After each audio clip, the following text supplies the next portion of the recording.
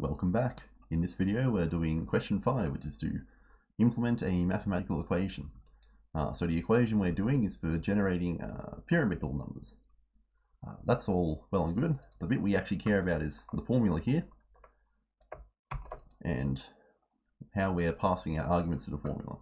So in the formula we have a variable n and that's going to be in register 1 and then we want to save the result of this into register 0. So let's open up VS Code and here's what I prepared earlier. So we have our formula here. Now, to make things a little bit maybe easier to understand, we'll, um, we'll substitute in R1 everywhere we've got an N, just so we can really visualize the maths going on here. Let's say R0. Okay, so R0 equals S of R1, which is uh, this nice mathematical blob of an equation here. Okay, so let's let's get the show on the road. So just remembering that R1 contains N is the most important thing. So we'll do, remembering our order of operations, we'll do these two adds first. Let's add R2, R1, and 1. So what I'll, what I'll actually do is I'll write a comment after each line to say what I'm actually doing for this one.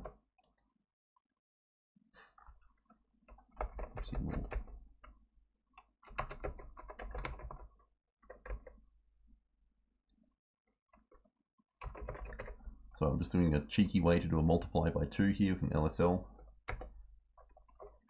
And then add R3. 1.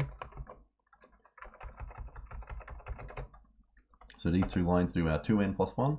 So we're multiplying by 2, and then we're adding 1 to it. Now we want to do a mul into R0, R2 and R3. So now we're, we're doing this multiplication here. Mul R0 with R1, which is this first initial n over here. So we are multiplying by n. And now the last thing we need to do is divide by 6. Now, unfortunately, we can't divide by a constant, so we'll have to move 6 into a register. Now let's use R4, 6. We'll do an unsigned division into R0 of us, 0 divided by R4. So that's doing all of our equation now. Cool. So this should be relatively straightforward to follow through. Uh, let's run it in the debugger and see what we get. Okay, we're building happily.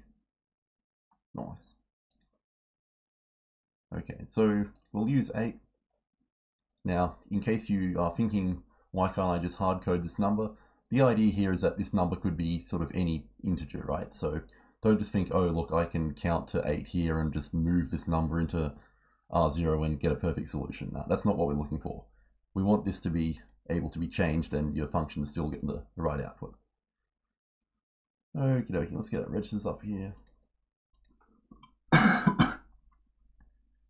All right, so I'll put all of these into um, decimal format just to help you see what what's going on. Now, some of these registers contain garbage, uh, like R2 contains garbage at the moment, but we're about to write over that. So n is the number 8, and we just added 1 to it to get 9, and 2n, there you go, 16.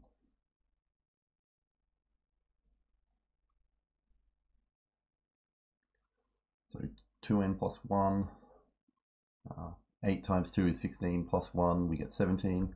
Okay, now we multiply these two together, get 153, multiply it by n again, get big number, and then we divide by 6.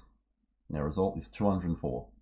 Now if we go back here and count along, 1, 2, 3, 4, 5, 6, 7, 8, we've got 204. Uh, wonderful our, our function works for the number 8. Let's chuck in 10. So this is the 10th pyramidal number. We should get 385. Um, so we'll just put a decimal 10 up in here. Now I'll set a breakpoint at the end so my code just runs all the way through and we don't have to step. Okay, we'll go to main and zoom zoom. See you later, dude. and we get 385, which is the correct number. Wonderful. Okay, so we've implemented this mathematical equation.